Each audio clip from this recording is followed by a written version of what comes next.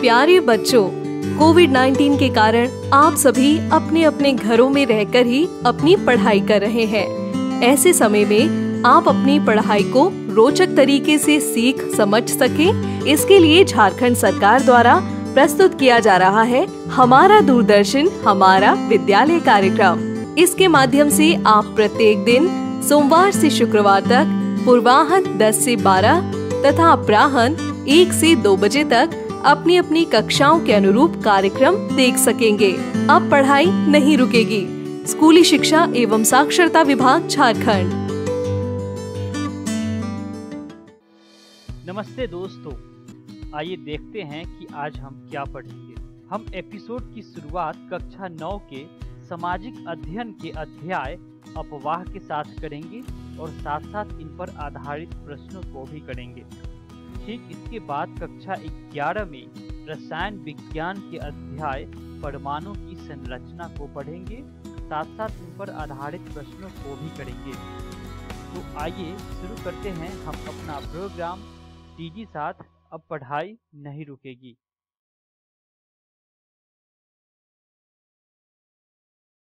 Hello दोस्तों, ये है भूगोल के पाठ तीन अफवाह का दूसरा भाग। आज के वीडियो में हम प्रायद्वीपीय नदियों के बारे में जानेंगे, झीलों के बारे में पढ़ेंगे। हम जानेंगे कि नदियों का हमारे जीवन में क्या महत्व होता है और नदी प्रदूषण पर भी चर्चा करेंगे। तो चलिए आज का पाठ शुरू करते हैं। सबसे पहली प्रायद्वीपीय नदी जिसके बारे में हम बात करेंगे, वो है नर्मदा नदी। दोस्तों, नर्मदा का उद्गम मध्य प्रदेश में अमरकंटक की पहाड़ी के निकट से होता है। यह नदी पश्चिम की ओर एक भ्रंश घाटी में बहती है। दोस्तों, अपने समुद्र तक पहुँचने के क्रम में यह नदी बहुत से दर्शनीय स्थलों का निर्माण करती है। उदाहरण के तौर पर, जबलपुर के निकट संगमरमर के शैलों में यह नदी गहरे गौट से बहती है। और जहाँ ये नदी तीव्र ढाल से गिरती है, वहाँ पर ये धुआंधार प्रपात का निर्माण करती है। दोस्तों, नर्मदा की सभी सहायक नदियाँ बहुत ही छोटी हैं और नर्मदा द्रोणी मध्य प्रदेश और गुजरात के कुछ भागों में विस्तृत है। चलिए अब बात करते हैं तापी नदी की। तापी का उद्गम मध्य प्रदेश के बैतूल ज़िले में सतपुरा की पहाड़ी श्रृंखलाओं से होता है। दोस्तों, यह नदी भी नर्मदा के समान एक भ्रंश घाटी में बहती है, लेकिन इस नदी की लंबाई बहुत ही कम है। इस नदी की अपवाद मध्य प्रदेश, गुजरात और महाराष्ट्र राज्यों में है। चलिए, अब हम बात करते हैं गोदावरी नदी की। दोस्तों, गोदावरी नदी की लंबाई लगभग 1500 किलोमीटर है, जो इसे सबसे लंबी प्रायद्वीपीय नदी बनाती है। यह नदी महाराष्ट्र के नासिक ज़िले में पश्चिम घाटी की ढालों से निकलती है, जिसके बाद ये नदी बंगाल की खाड़ी में गिरती है। दोस्तों, अपने बड़े आकार के कारण इस नदी को दक्षिण भारत में दक्षिण की गंगा या वृद्ध गंगा के नाम से जाना जाता है। अब हम बात करते हैं महानदी की। महानदी तीसरी सबसे लंबी प्रायद्वीपीय नदी है, जिसका उद्गम छत्तीसगढ़ की उच्च भूमि से होता है और यह नदी ओडिशा से बहते हुए बंगाल की खाड़ी में मिल जाती है। दोस्तों, इस नदी की लंबाई करीब 860 किलोमीटर है। इस नदी की अपवाह महाराष्ट्र, छत्तीसगढ़, झारखंड और उड़ीसा में है। अगली प्रायद्वीपीय नदी, जिसके बारे में हम बात करेंगे वो है कृष्णा नदी। दोस्तों, कृष्णा नदी की लंबाई करीब 1400 किलोमीटर है। इस नदी का उद्गम महाराष्ट्र के पश्चिमी घाट में महाबलेश्वर के निकट से होता है। इस नदी का अपवाह तंत्र महाराष्ट्र, कर्नाटक और आंध्र प्रदेश के राज्यों में स्थित है। कृष्णा नदी की प्रमुख सहायक नदियाँ हैं दूधगंगा, पंचगंगा, तुंगभद्रा, कोयना आदि। दोस्तों, आखिरी प्रायद्वीपीय नदी जिसके बारे में हम बात करेंगे, वो है कावेरी नदी। कावेरी पश्चिमी घाट से ब्रह्मागिरी श्रृंखला से निकलती है और तमिलनाडु के कुडुलूर के दक्षिण में बंगाल की खाड़ी में मिल जाती है। इस नदी की अपवाद तमिलनाडु, केरल और कर्नाटक में स्थित है। कावेरी नदी की प्रमुख सहायक नदियाँ हैं अमरावती, भवानी, हेमावती और कबीनी। दोस्तों, इस नदी की लंबाई 760 किलोमीटर है। चलिए दोस्तों, ये तो बात हुई प्रायद्वीपीय नदियों की। अब हम बात करेंगे झीलों की। दोस्तों, कश्मीर घाटी में प्रसिद्ध डल झील से तो आप परिचित होंगे। यहाँ पाई जाने वाली नाव वाले घर और शिकारा के बारे में भी आप जानते होंगे। कश्मीर में स्थित ये डल झील झील का एक उदाहरण है। तो चलिए देखते हैं कि झीलें आखिर होती क्या हैं। दोस्तों, जल भरे विशाल गड्ढे को झील कहा जाता है। इन झीलों में पानी वर्षा के जल से आता है और हिम चादरों के पिघलने से भी आता है। दोस्तों, भारत में बहुत सी झीलें हैं। ये एक दूसरे से आकार और लक्षणों में अलग अलग होती है। सबसे पहले हम जानते हैं गोखुर झील के बारे में।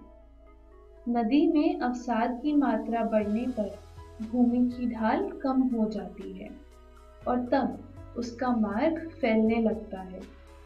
यह विसर्पित भाग कटकर मुख्य धारा से अलग हो जाता है और इसका आकार गाय के खुर के समान हो जाता है। दोस्तों, ऐसी झीलों को घोखुर झील कहा जाता है। इसी तरह स्पिट और बार तटीय क्षेत्रों में लेगूनों का निर्माण होता है। दोस्तों, भारत में चिल्का झील पुलिकट झील और कोलेरू झील लेगून का उदाहरण है। दोस्तों, इसके अलावा जल विद्युत पैदा करने के लिए भी नदियों पर बाँध बनाए जाते हैं, जिससे झीलों का निर्माण होता है। भाखड़ा नंगल परियोजना डैम पर बनी गुरु गोविंद सागर इसी का उदाहरण है। दोस्तों, झीलों का हमारे जीवन में बहुत ही महत्व है। चलिए देखते हैं कि झीलों के महत्व क्या है। झील सुंदर प्राकृतिक रूप और पर्यटकों को आकर्षित करने के स्थान के रूप में देखी जा सकती है। नदियों के बहाव क्षेत्र को सुचारू बनाने में भी झीलें सहायक होती हैं। अत्यधिक वर्षा होने पर झीलें नदियों में संतुलन लाती हैं। इसी के साथ साथ सूखे के दिनों में झील का पानी उपयोग में लाया जा सकता है। विद्युत उत्पादन में भी झीलों के पानी का प्रयोग होता है। चलिए दोस्तों, अब देखते हैं कि नदियों का अर्थव्यवस्था में क्या महत्व है। पूरे मानव इतिहास में नदियों का बहुत ही ज़्यादा महत्व रहा है। नदी के पानी के कई उपयोगों के कारण नदियों के तट ने प्राचीन काल से ही आदिवासियों को अपनी ओर आकर्षित किया है और कई मानव सभ्यताओं ने नदियों के किनारे ही जन्म लिया। ये सभी गाँव आगे बढ़कर बड़े बड़े शहरों में परिवर्तित हो चुके हैं। लेकिन दोस्तों, भारत जैसे देश के लिए जहाँ की अधिकांश जनसंख्या जीविका के लिए कृषि पर निर्भर है, वहाँ सिंचाई नौ संचालन जल विद्युत निर्माण में नदियों का महत्व बहुत ही अधिक है। नदियों के हमारे जीवन में इतने महत्व के बावजूद नदी प्रदूषण आज की सबसे बड़ी समस्या है। नदी का जल घरेलू, औद्योगिक और कृषि की बढ़ती मांग के कारण प्रदूषित हो रहा है और इसकी कमी भी बढ़ती जा रही है। दूसरी ओर, उद्योगों का प्रदूषण और कचरा नदी में मिलता रहता है, जिसके कारण जल की गुणवत्ता के साथ साथ नदी की स्वतः स्वच्छीकरण की क्षमता भी प्रभावित होती है। दोस्तों, उदाहरण के तौर पर गंगा का जल लगभग 20 किलोमीटर क्षेत्र में फैले बड़े शहरों की गंदगी को तनु करके समाहित कर सकता है। लेकिन लगातार बढ़ते हुए औद्योगिकरण और शहरीकरण के कारण ऐसा संभव नहीं हो पाता और अनेक नदियों में प्रदूषण का स्तर बढ़ता रहता है। चलिए दोस्तों, आज के इस पाठ में बस इतना ही। मैं आशा करती हूँ कि आपको सब कुछ अच्छे से समझ में आया होगा। चलिए एक नज़र डालते हैं कि आज हमने क्या क्या सीखा। हमने प्रायद्वीपीय नदियों के बारे में जाना। हमने झीलों पर और उनके अनेक आकारों पर चर्चा करी। हमने नदियों का महत्व जाना। और हमने नदी प्रदूषण की समस्या के बारे में भी बात करी। दोस्तों, आप घर जाकर अपनी भूगोल की पुस्तक, समकालीन भारत में से पाठ तीन अफवाह ज़रूर पढ़िएगा। अगली वीडियो में हम इस पाठ पर आधारित कुछ प्रैक्टिस क्वेश्चंस करेंगे। धन्यवाद।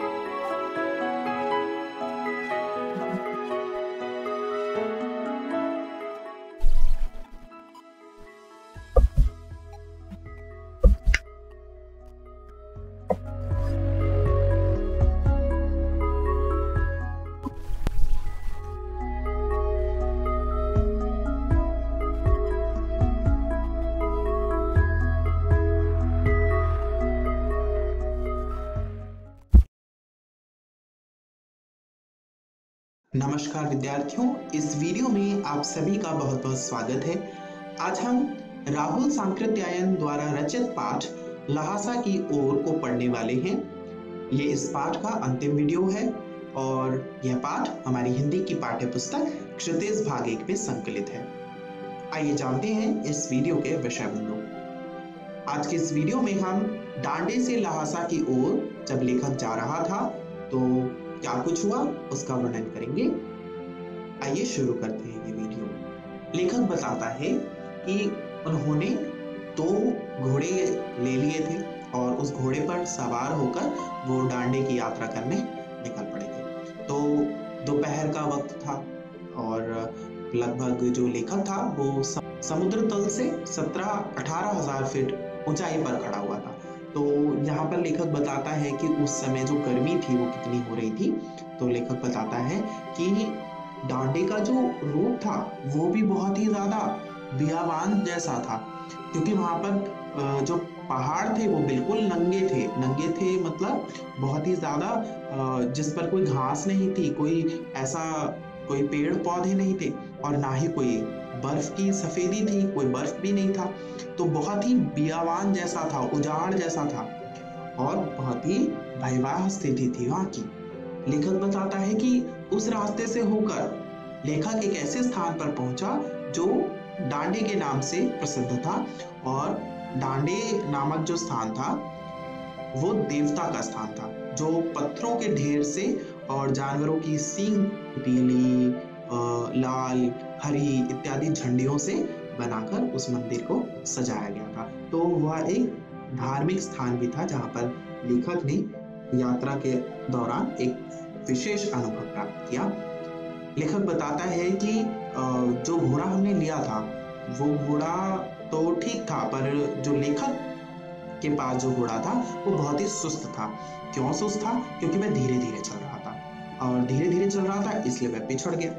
यहाँ पर लेखक एक पाश्चात्य उपन्यास के पात्र का वर्णन करता है, जिसका नाम है किस्तो किस्तो जो है, वो एक ऐसा पात्र था जो अपने उपन्यास में एक घोड़े पर चलता हुआ जा रहा था, झूमता हुआ धीरे धीरे तो लेखक को भी वैसा ही अनुभव होने लगता है। इसीलिए लेखक को लगता है कि ये जो घोड़ा है, वो बहुत ही सुस्त है और आगे रास्ते में उसको इससे बहुत ही परेशानी हो और ऐसा होता भी है कि एक जगह पर क्या होता है कि दो रास्ते फूट रहे होते हैं, यानी दो राह होता है।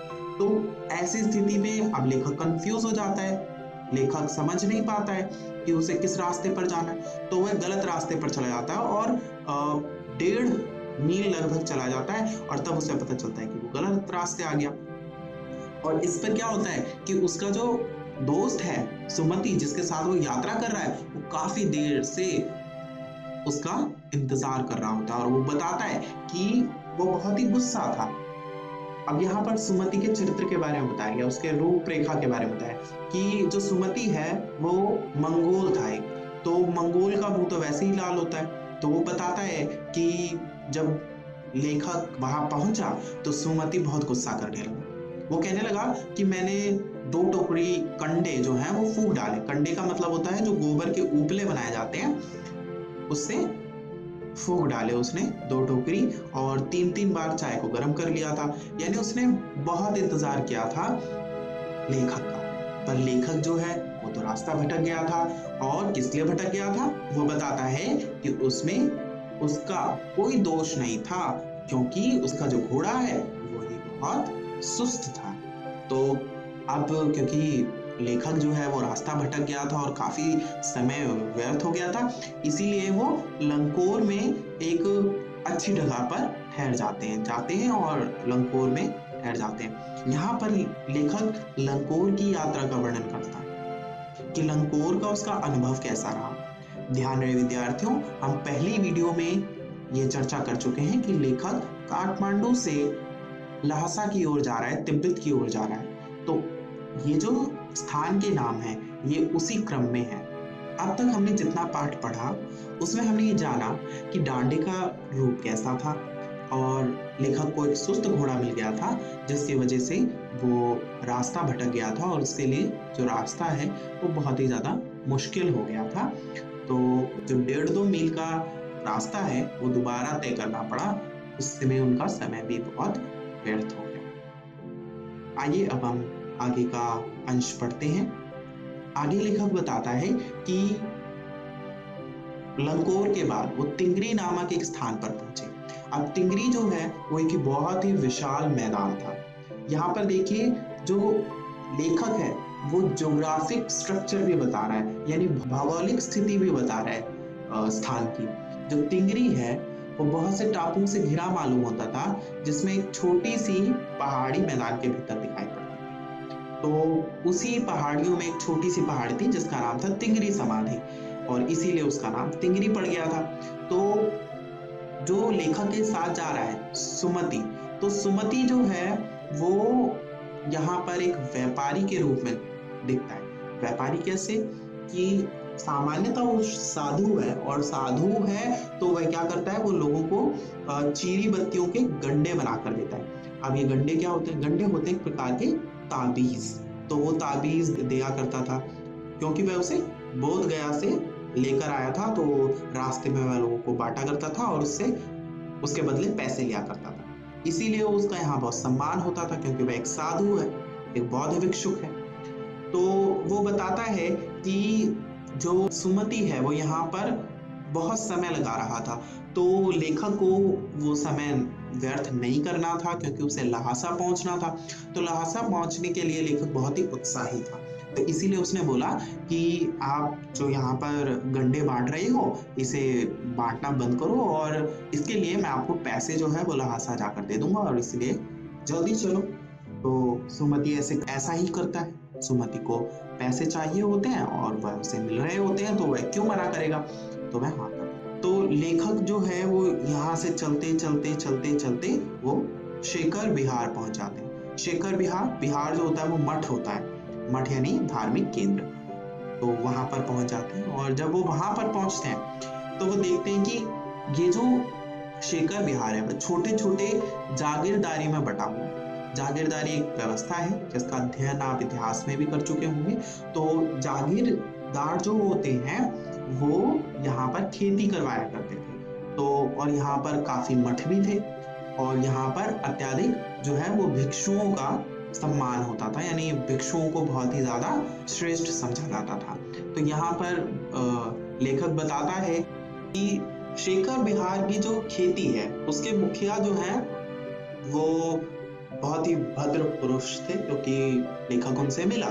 तो क्योंकि लेखक जो है वो भिखारी के वेश में था। इसीलिए उसका उतना सम्मान नहीं होना चाहिए था या रास्ते में लोगों ने नहीं किया था। किंतु जो निम्न से हैं, जो मुखिया भिक्षु हैं, उन्होंने लेखक का बहुत ही सम्मान किया। अब यहाँ पर लेखक को एक बहुत ही रोचक वस्तु मिल गई। वो क्या थे? वो थे कुंजर कुंजर जो होते हैं वो बुद्ध वचन का अनुवाद होते हैं। यानी जितने भी बुद्ध ने उपदेश दिए, उन उपदेशों का अनुवाद। तो लेखक उसे पढ़ने में व्यस्त हो जाता है। और जब लेखक से सुमति पूछता है कि क्या हमें जाना चाहिए तो लेखक जो है वो इतना रम जाता है पाठ में कि वह कह देता है कि हाँ ठीक है, चलते हैं। और लेखक को जाना पड़ता है। तो इसीलिए लेखक जो है फिर वो लहासा पहुँचने के लिए लगभग थोड़ी, थोड़े ही समय बाद लेखक लहासा पहुँच जाता है। आइए विद्यार्थियों, हम जानते हैं कि आज की इस वीडियो में हमने क्या सीखा। आज की इस वीडियो में हमने जाना कि तत्कालीन तिब्बती समाज कैसा था। वहाँ की स्थिति कैसी थी? वहाँ पर क्या कुछ था? ये हमने जाना। इसके बाद हमने जाना कि लेखक जो है, वह किस प्रकार लहासा पहुँचा। मुझे आशा है कि आप घर जाकर इस पाठ को पढ़ेंगे और इस पाठ से संबंधित सभी प्रश्नों के उत्तर लिखने का प्रयास करेंगे। अंत में इस वीडियो को देखने के लिए बहुत बहुत धन्यवाद। नमस्ते दोस्तों। डीजी साथ के आज के एपिसोड में आशा करता हूँ कि आपको बहुत कुछ सीखने को मिला होगा। आइए देखते हैं कि आज हमने क्या क्या पढ़ा। दोस्तों, आज हमने कक्षा नौ में सामाजिक अध्ययन के अध्याय अपवाह को पढ़ा साथ साथ इन पर आधारित प्रश्नों को भी किया। ठीक इसके बाद कक्षा ग्यारह में रसायन विज्ञान के अध्याय, परमाणु की संरचना को पढ़ा साथ साथ इन पर आधारित बेहद रोचक प्रश्नों को भी किया। आइए देखते हैं कि हम कल क्या पढ़ेंगे। दोस्तों, कल हम कक्षा नौ में हिंदी के अध्याय लहासा की ओर को पढ़ेंगे। इसके बाद कक्षा 11 में बायोलॉजी के chapter morphology of flowering plants को पढ़ेंगे साथ साथ इन पर आधारित प्रश्नों को भी करेंगे। इस प्रसारण से संबंधित सुझाव, अपने प्रश्न इत्यादि, आप हमें J C E R T R G at the rate gmail dot com तथा टोल फ्री नंबर एक आठ शून्य शून्य पाँच सात दो आठ पाँच आठ पाँच पर संपर्क कर सकते हैं।